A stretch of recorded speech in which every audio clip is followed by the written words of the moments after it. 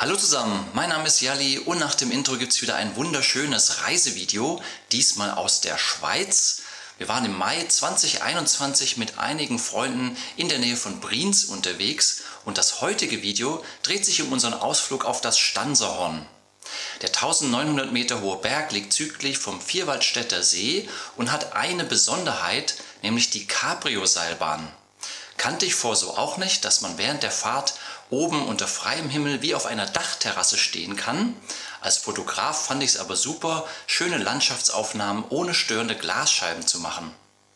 Oben auf der Bergstation der Ausblick war natürlich ebenfalls sensationell.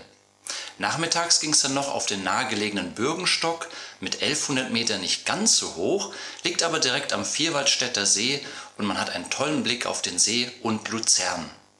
Wenn euch das Video gefallen hat, dann lasst mir gerne ein Like da oder abonniert meinen YouTube-Kanal. Und jetzt viel Spaß mit dem Video.